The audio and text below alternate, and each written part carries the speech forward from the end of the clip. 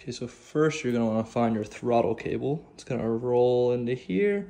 Then it's gonna be your orange wire sticking out. So we're just gonna undo that. It's a little Allen key right there. Then we undo it from the line. Almost there, just like that. Don't lose the screw, just in case you ever want to do anything with it.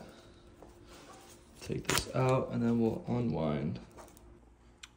Okay, now that that's off, we're gonna get our twist throttle, take off the grip, and make sure this thing fits on the handlebars. Just gonna be another Allen key. So the gear shift did actually get in the way of this guy. Um, so what I did is just slid it down. It's not super important to me, just quick changes. The bike pretty much propels itself. Um, but yeah, tightens it down. It fits super nice. So I think it's time to get shopping. So here's everything we need for this installation. First is the Velotric throttle. It has the custom Velotric sized uh, throttle port. Here's our Sur-Ron uh, throttle. We have our razor uh, just for cutting this a little bit if this doesn't do the job. Electrical tape. We have a wire cutter and some crimps just to make everything all nice and neat. Uh, first, what we're going to do is we're going to strip this wire and we're going to expose these. And we're to strip those and connect them. So now we have these three wires. We want to strip these. Oh goodness. The blur.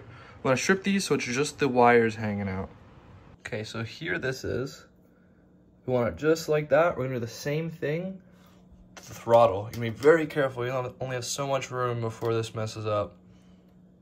We're gonna start from here because we want this connection. So make sure you do it from here. We don't really care about this. We want this on there.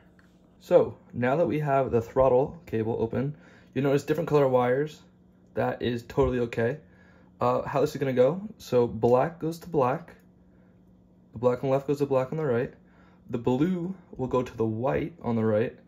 And then the brown will go to the purple.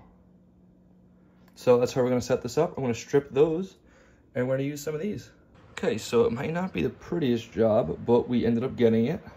Like I said, white to blue, black to black, purple to brown. Let's see yeah, very, very ugly work. Anyways, we're gonna wrap this in our electrical tape now. Then we go out and test it. So the bike is on. Let's put this to eco.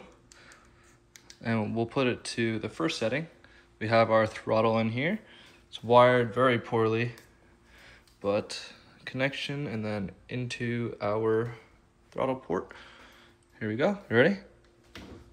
And we have power. Oh, a little too much. There you go.